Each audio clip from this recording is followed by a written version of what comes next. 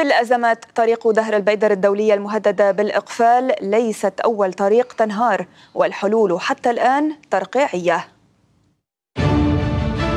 هذا المشهد التقطته كاميرا ال بي سي اي في اليوم الأول من تحويل سير الشاحنات الكبيرة من ظهر البيدر إلى ترشيش بعد انهيار حائط الدعم على الطريق الدولية. طريق ترشيش ليست بحال أفضل من ظهر البيدر فهي ضيقة وتقع ضمن منحدرات وتحويل السير إليها حل ترقيعي. هلا انفجر معي الدولاب برمية طويلة وخطرة وعم نضيق الناس. وكما حصل مع السائق محمد مئات الشاحنات باتت مجبرة على سلوك طريق تستغرق وقتا أطول. طريق مش آمن أبدا. طريق ضيقة.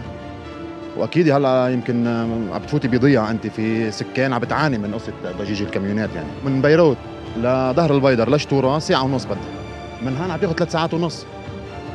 في فرق مازوت للتنكات العمل لتحسين طريق ترشيش بدأ.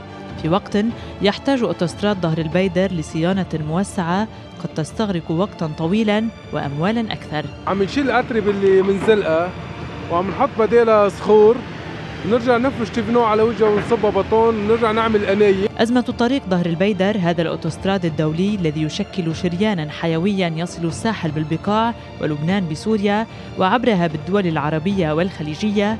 تجعلنا نتساءل عن سبب انهيار جزء من حائطه. واضح أنه طريق ظهر البيدر بحاجة لصيانة من عشر سنوات.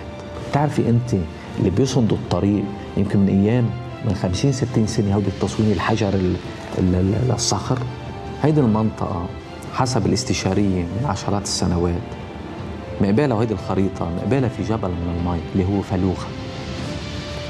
وهيدي بالشتاء بتعمل ينابيع بفعل المنحدر تنزل على الأوتستراد أو على الطريق الدولي ظهر البيت.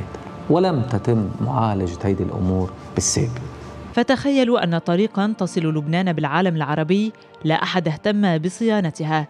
هي التي بنيت منذ الانتداب الفرنسي تذكرها مجلس الوزراء عام 2018 وعلى الرغم من ذلك لم ترمم بسبب الأزمة.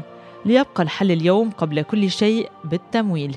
بال 2018 انعمل دراسة على طريق ظهر البيدر من الحازمية لشتور. 2019 أقر في مجلس الوزراء هذا الموضوع وصرف لوزارة الأشغال العامة والنقل اعتماد كمرحلة أولى. والتكلفة كانت لطريق ظهر البيدر تأهيل وصيانة 20 مليون دولار.